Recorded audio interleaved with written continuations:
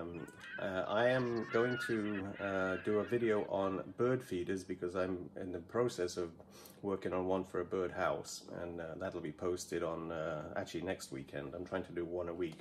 It's getting harder to do these because we've got tourism starting up a little bit so uh, there's nobody in my gallery at the moment. So I'm going to try and sneak one of these little excerpts in. Um, I'm going to work with uh, three pounds of clay, just under, this is a 20, 22 pound block divided into eight. Um, so that's a, whatever that comes out at. It's less than three pounds.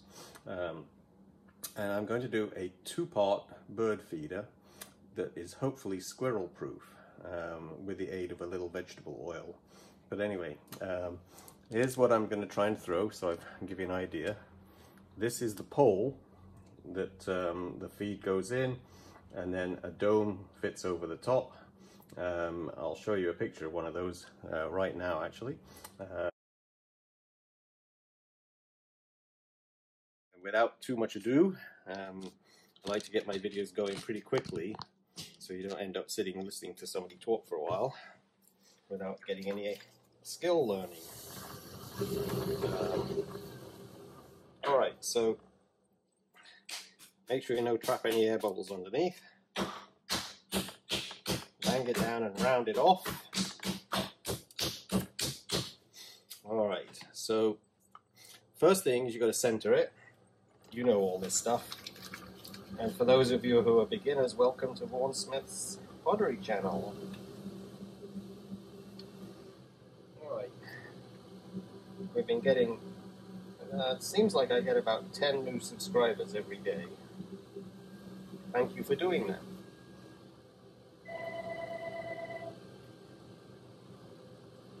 Alright, so centering the clay.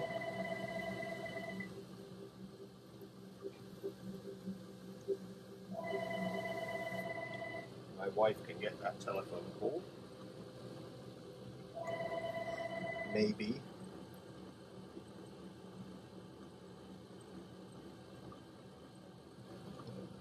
Okay, so I've centered the clay. I'm leaving a little pad down here and I'm actually coning the center part a little bit at a time.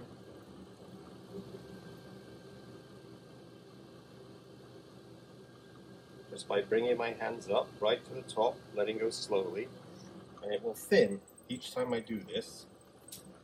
Squeeze at the bottom, not too much because you don't want to snap it off, and bring it up, but move fast enough so your hands don't dry out the clay. get taller each time. Make sure it stays well lubricated. You can also try it with your fingers like this. See how you can manage that. It tends to dry pretty fast when you're doing this, so you've got to move up that cone fairly quickly, otherwise you will snap it off.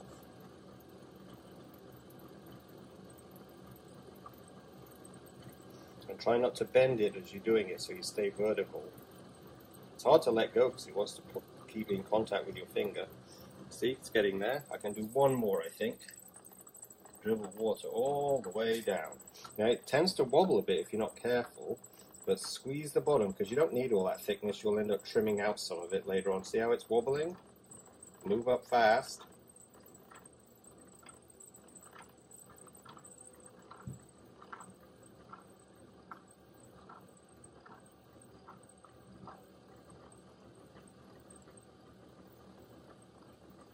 When you get to the top, like I said, it wants to stay stuck to your fingers, so let go slowly with your fingers on both sides. Try and do it at the same time.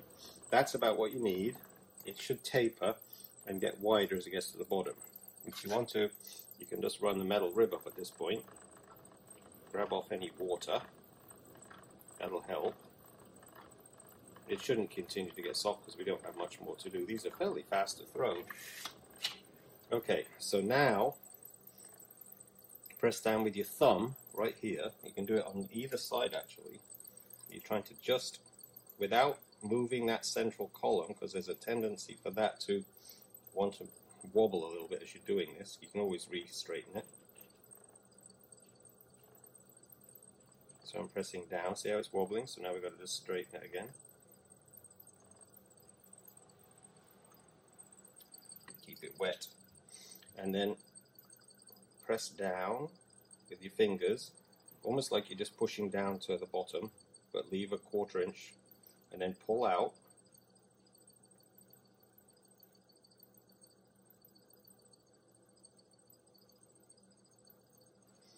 You can use a sponge with some water on it to kind of push in there.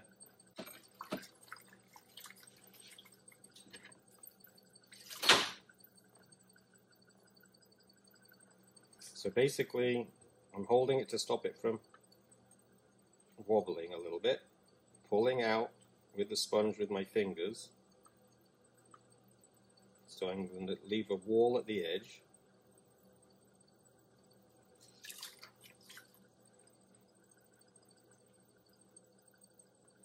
And then, once you wet the wall here, you put your fingers and squeeze them together and just pull a wall as you normally would. Try not to thin it too quickly.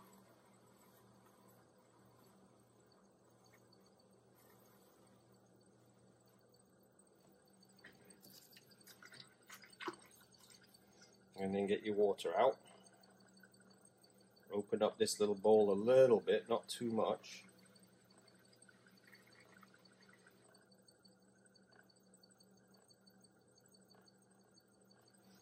Get all the water off.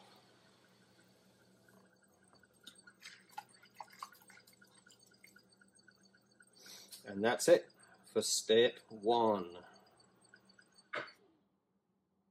Next step is to make the, the roof or the hood. So starting the same lump of clay.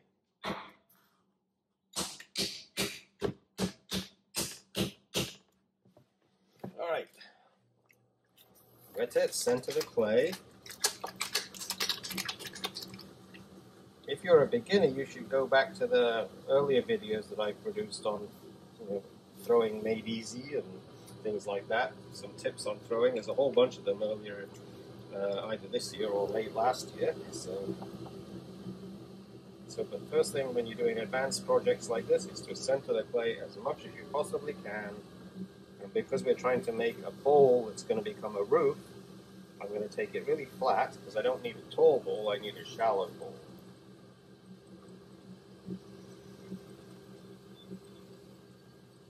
So I'm simply flattening down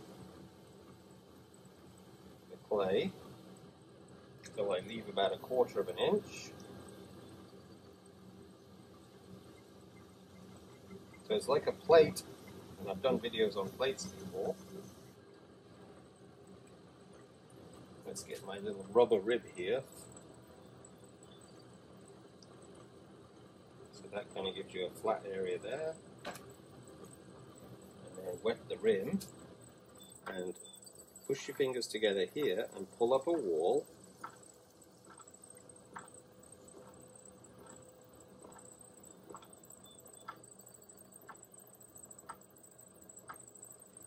You might have to do that a second or even a third time you don't want to make it too thin this is going to be outdoors blowing around in the wind so you don't want to get it too thin but basically you want it as wide as possible. So this thing for me, because I'm throwing on a 12 inch bat, is going to be about 12 and a quarter, maybe even 12 and a half inches across.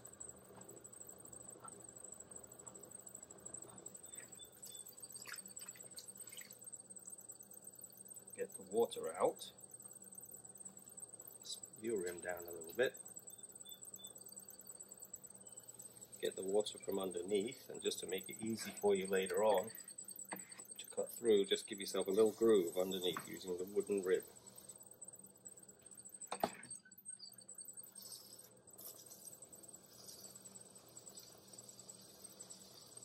and that is how to make a dome. So that's step two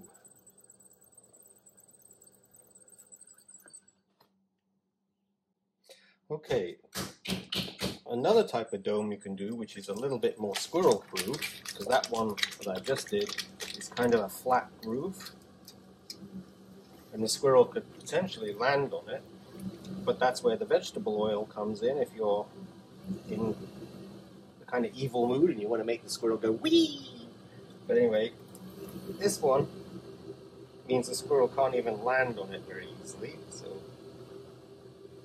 so you're just going to throw a very shallow bowl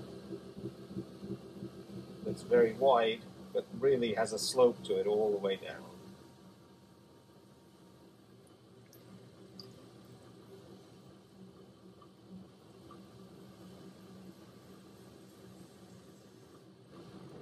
Let's get this bowl on the road. So basically leave a quarter inch at least at the bottom there.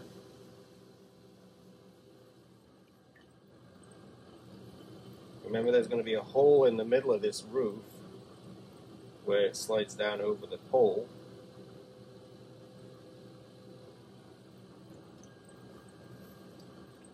But you're basically just making a big bowl. And you're going to have to try and make it hang out as far as possible. It doesn't have to be very deep because otherwise it'll hang down too close and that's another part of these. You can make these feeders for different types of birds. So they have a small opening or you can have a much larger opening. I'm going to leave the width of the bottom of the piece quite wide so it will support the width of this.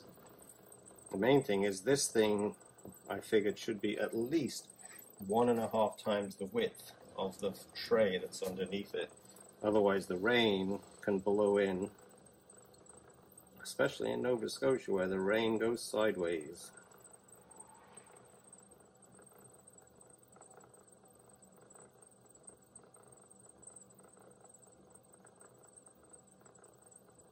There we go. Let's get all the water off.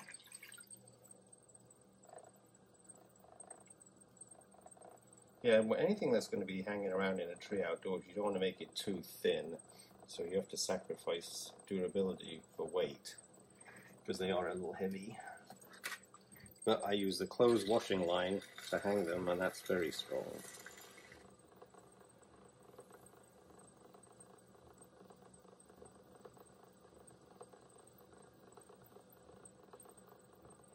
So at the moment it's about, I would say 11 and a half inches across.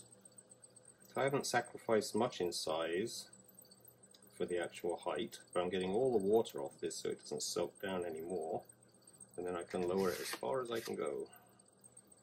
I want to have a slope, like a ski slope, so when the squirrel lands, he kind of goes shooting off. And they're not so high up in the tree that the squirrel's going to hurt himself either. He's just going to take a little skydive. And that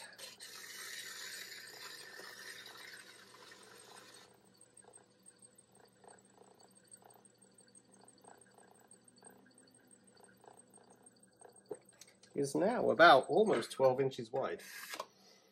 I don't think we sacrificed much at all in the actual width of this. Okay, the next step in the uh, bird feeder is um, to actually put a little collar, like an extension, that sticks out about here so that the dome fits on and doesn't fall down too far. So um, let's get you going here. There's a couple of ways you can do this. Um, and um, one of them is just hand rolling a coil, um, but you can also throw a small disc. So we'll do both.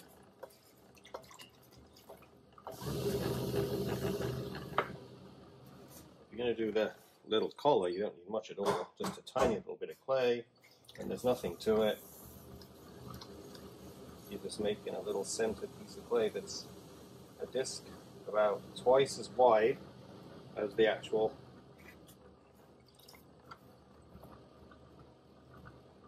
you know, I'm not sure what you call this, it's a, uh, a rod, whatever it is it's sticking up.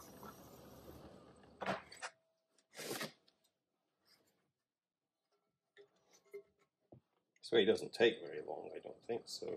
So just wet. Now we've got a flat dome and I also have the dome dome. Um, so I'm kind of figuring that if it goes out, I want to decide, is this for finches, sparrows, Is it for starlings, which are even bigger than the previous ones, uh, or is it for you want to feed pigeons? I mean, some people like pigeons. I like pigeons. Uh, then you've got to have a much bigger gap because the pigeons don't can't kind of get underneath. So that's where you, you're just determining, I guess, uh, what you actually want. So I'm just going to scratch here. I'm going to give it slightly bigger gap so that I can give the pigeons a chance. But um, so all I'm doing is scoring and scratching. This has been sitting overnight, so it's uh, it was covered in loosely with plastic. So uh, and then you simply get your coil and you attach it. It's just a piece of clay basically. You're just trying to firm onto there. You can even just roughly put this on and then trim it without even throwing it a little bit. But I'm just attaching it. And it's to stop the dome from falling down, basically. I don't want to get it, uh, water will dribble down, so I've just got to try and join it before, which is why I think throwing the little disc is a bit quicker. But you're simply trying to attach a lump of clay to stop your disc lid, roof, whatever, from falling down.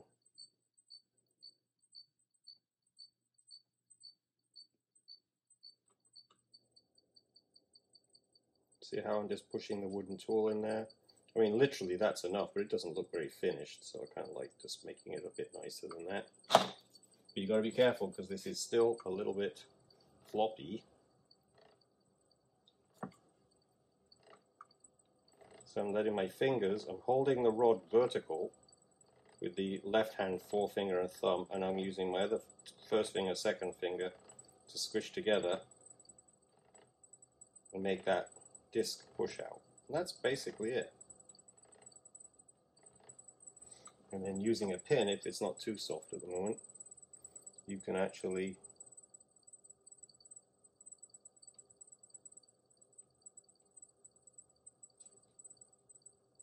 There we go. Make it a little bit nicer.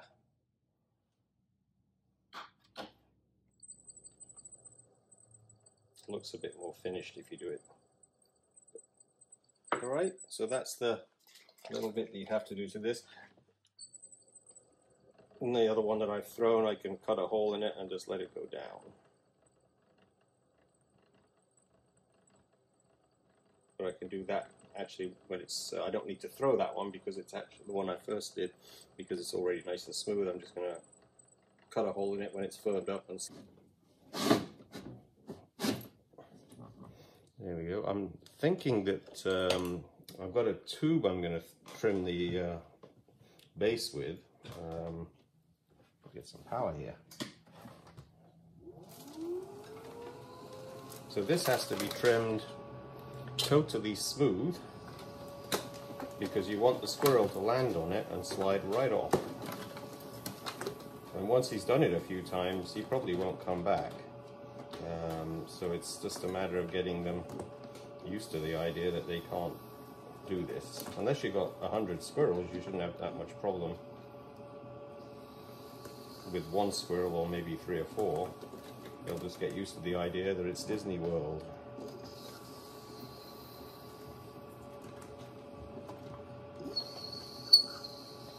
And remember not to trim it too thin because we want it to basically stand up to a few gale force winds, Dogger Bank. That was what I used to listen to the nightly forecast in England. After the old grey whistle test. There you go. Look that up on uh, YouTube. That was some great music back then. And we get hurricanes going through here and they've been through winter storms. I leave things out all winter. I like to show the customers that things survive in the winter. So let's see what this looks like at the moment. I think it's too small. Um, can you see this? Let's see. Got to give it a little bit of... I like it to go down and actually rest on the shelf. Where are we? Perfect. You see it? So you have your rope.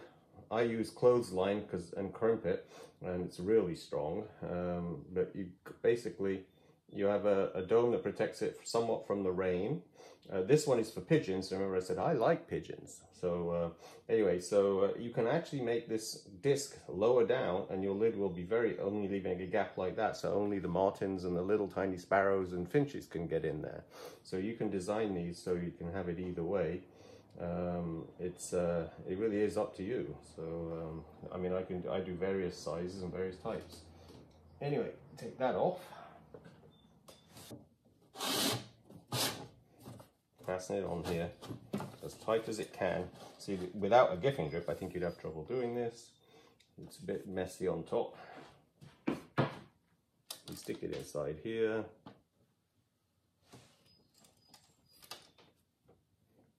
And you're going to have to put your finger, because this will hold it, but it's still going to wobble a little bit.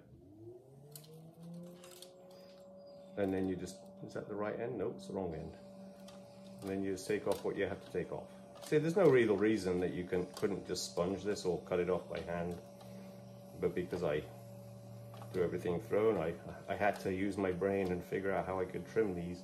Now you could throw yourself a specific chuck to do this too. Instead of a cardboard tube like this, you could literally throw your own truck chuck that is meant to do this. The bottom is very smooth, but I've shown you this before using the old ribs that we throw with once they get marks on them, you can just use them as trimming devices. They help smooth or trim. And that's it. Put a couple of holes in the bottom, three maybe, um, not too big because the seeds will fall through. Um, but that's just in case water blows in here, it will dribble out again. Um, so that's the only thing I would do to these. There you go. Get that out of there.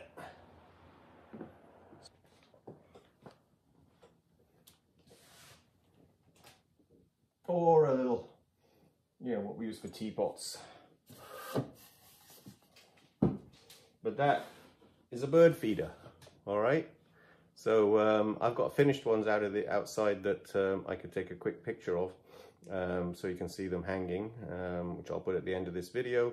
Um, and just remember, I'll repeat, it won't extend the video too long, is that disc that holds the lid up could be placed down here or anywhere up the tube to determine how big a gap you have here so that you can limit who gets into here for the actual food.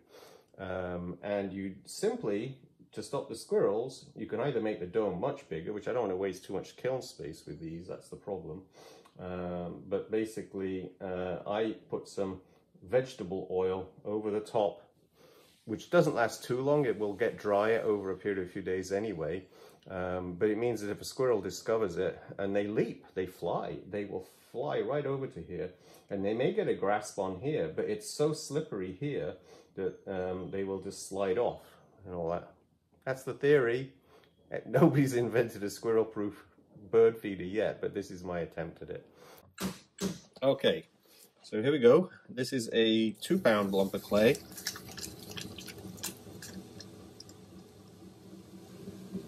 So these are the bird feeders that's earlier. I've got this whole video going now, this, this part will become part of the other video. And this is the bottom. But the one I threw before was very tall, and you don't have to have it very tall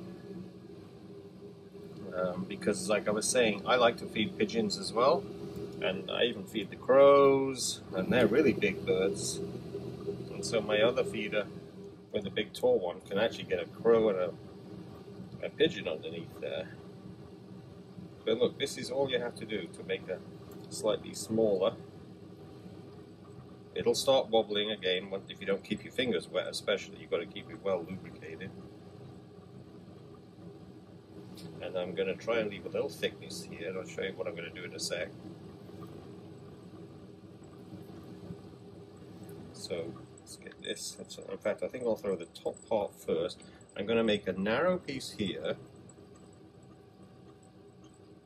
but not too narrow because we've got to get a hole in here.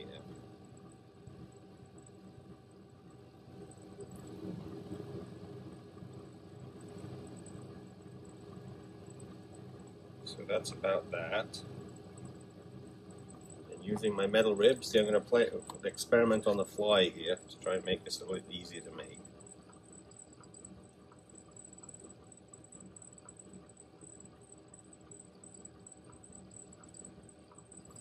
Hey, how about that? Let's see if I can do the same. My idea was to do it from underneath, but I did that from the top.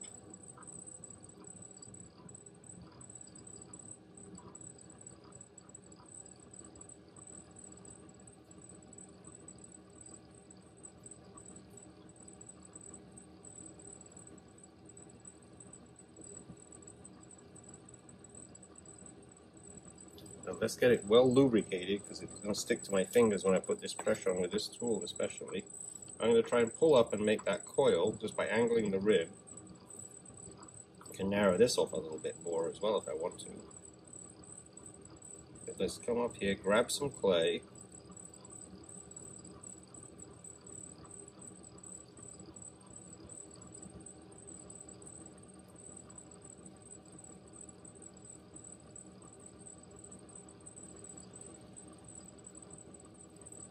it's starting to stick to the wheel at that point because I did pull a little bit of clay off. But there we go. I, I actually joined this separately in the other video, earlier part of this video. Um, this needs to be sticking out a little further, I think. I think I can grab a little bit more. I wonder if I can grab it all the way from down there. Let's see this what happens here. Yeah, it's just going to come off, I guess. Yeah.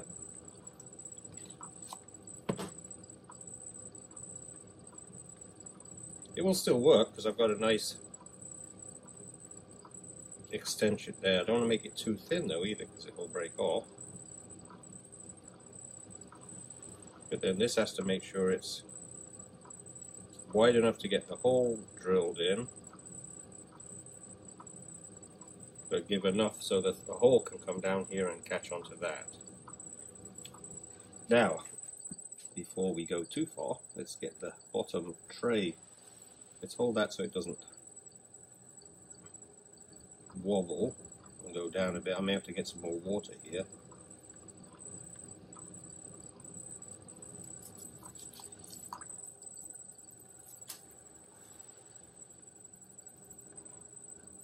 Don't want to make it taller, but I'd like to think that that is thicker at the bottom and gradually gets thinner, just for the look of it.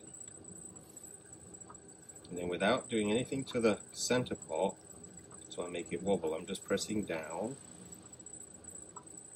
Gonna have to straighten it a bit.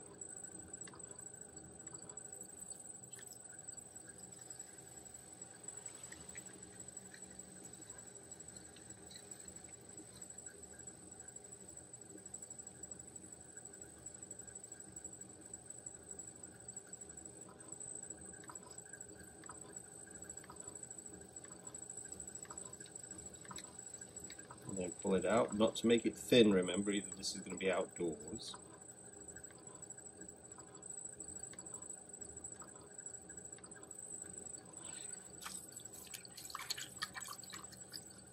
And that looks like it will work.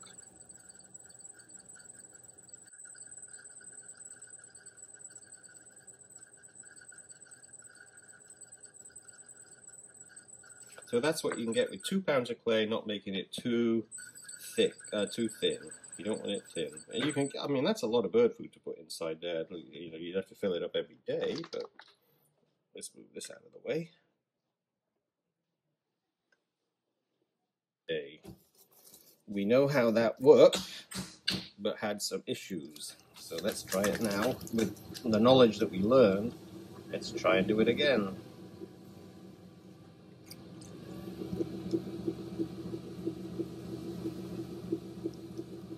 These feeders are not one of my best sellers by a, long shot, but I sell them every so often. So here we go. I'm going to make the bowl. Before I do anything on that top part, I'm going to make the bowl first.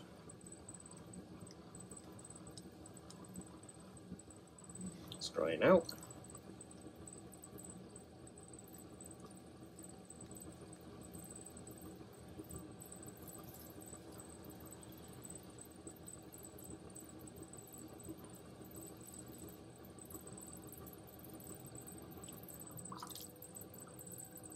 get some height on that little edge.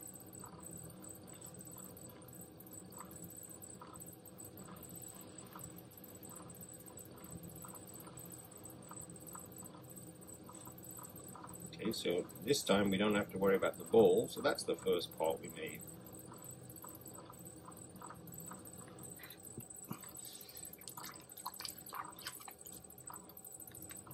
And now let's go for the, the column.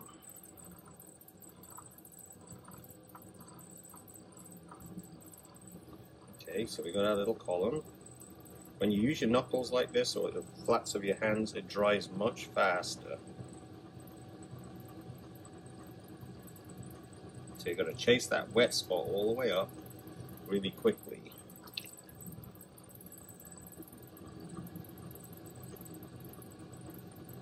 Now before it gets thin and too tall, I'm going to try throwing that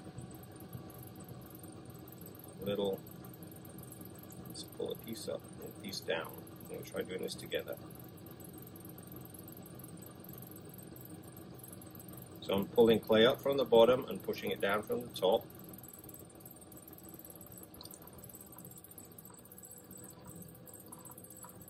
It's the Space Needle from Seattle, I guess.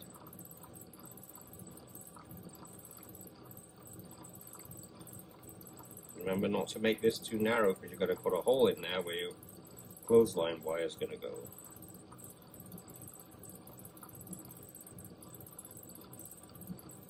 And you don't have to use clothesline. I've actually used picture wire, galvanized picture wire in the past. That works as well. Okay, so we have our space needle. I'm going to thicken up the edge a little bit. There's a lump under there. I could actually squeeze my fingers together and get that wider again.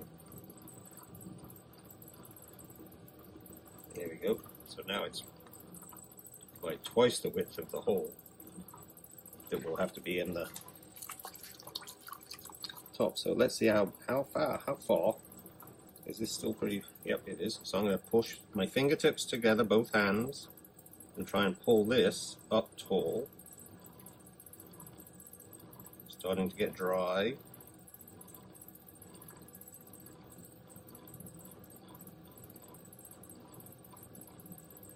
So I was very careful not to stay on a dry spot there, down there. But that's about as thin as I dare think I should take this. So this will be quite for small birds. So when you've got one like with a, I'm not going to have a, um, it's going to take it a little narrower at the bottom there, just give me a bit of height, maybe gain a, a centimeter there.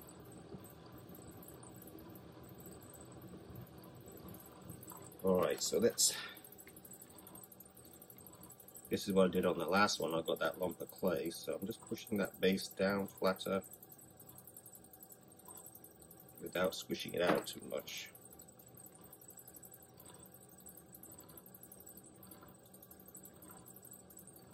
Alright, so I think now we've figured out how to make the, the bottoms, trying it three different ways. And this is a, uh, you know, I made these in a different way before, uh, but now I've just modified my technique to make it easier to make these.